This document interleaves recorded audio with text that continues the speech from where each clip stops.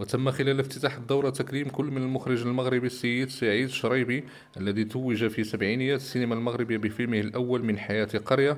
ثم ظهرت أفلامه الروائية مثل غياب وعطش وجوهرة بنت الحبس ونساء ونساء.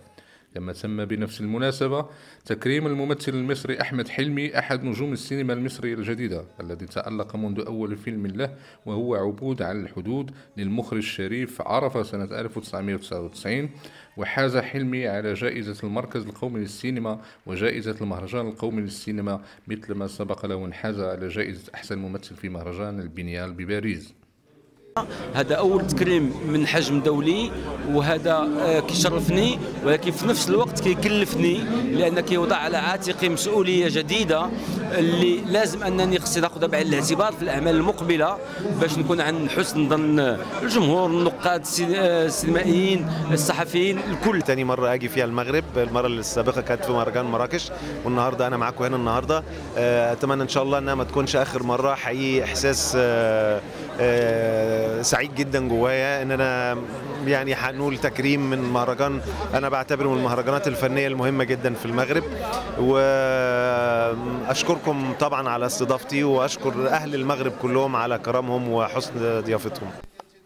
وتم خلال الافتتاح أيضا عرض فيلم يما لرشيد الوالي الذي كتب له السيناريو المخرج رشيد الوالي إلى جانب السيناريست والمخرج المغربي هشام العسري وأدى بطولته كل من رشيد الوالي والنادي العالمي وعبد المسناوي وجمال الدين الدخيسي وسعاد حميد ومارك سامويل وحسن فلان وهشام الوالي.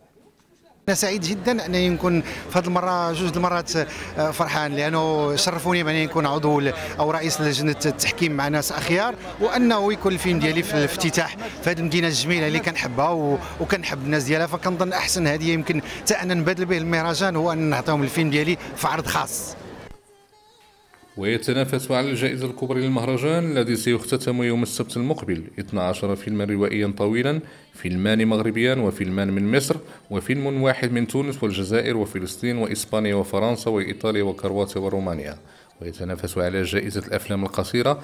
18 فيلما منها خمسة أفلام مغربية قصيرة وأفلام من تركيا وفرنسا ولبنان وتونس واليونان وإسبانيا والجزائر إضافة إلى فلسطين. كما يتنافس على جائزة الدورة أيضا 12 فيلما وثائقيا. من ضمنهم فيلم مغربي واحد إضافة إلى أفلام من فلسطين وإسبانيا وفرنسا وسويسرا واليونان والإمارات العربية المتحدة ومصر والجزائر ولبنان وتونس.